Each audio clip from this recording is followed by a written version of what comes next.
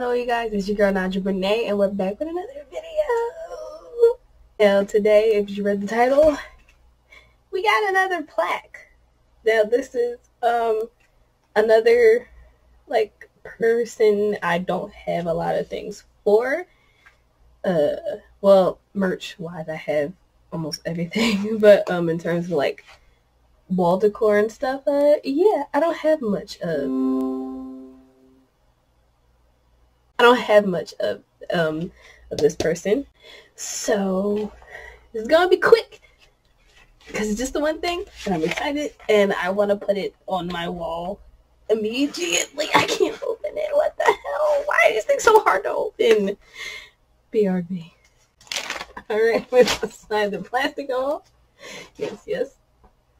WWE shop sticker so you know it's actually from the shop. Now, any guesses of what the plaque is, who's on the plaque. So you know we got Batista and we got Biggie. Y'all made y'all guesses? Okay, ready, ready, ready? It's the Usos! and of course, ironically, I get this after SummerSlam. And they're already split up I love the Usos, and I literally only have their action figures. I don't have like nothing like. Ouch! Like aside from um, like I said, their merch. I have almost all of their merch like over the years. Um, aside from their merch, I don't have nothing like stuff I can like hang up and decorate. So we got this. Yay! But uh yeah, this whole thing is going to change. I had a Sheamus posted up there and it literally fell not too long ago. Um, so this whole background is going to end up changing so you can actually see like my plaques and stuff.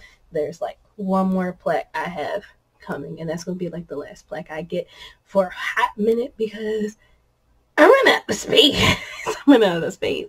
Actually, if you want this same Uso plaque, you know you can hit my the link in the drop bar down below. It's the first one. It'll take you straight to.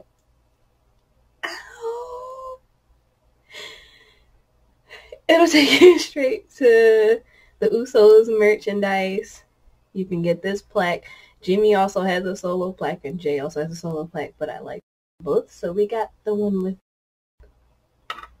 Anywho, thank you guys so much for watching. Like I said, this is just a short little video. But uh, thank you guys so much for watching, and I'll see you guys in the next video.